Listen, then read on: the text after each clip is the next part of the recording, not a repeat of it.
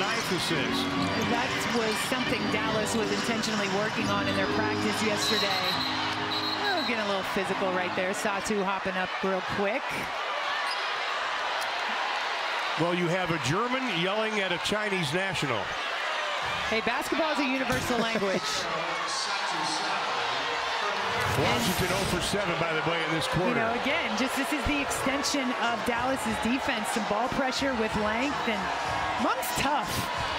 She's a fan favorite oh, yeah. in Washington. I love watching her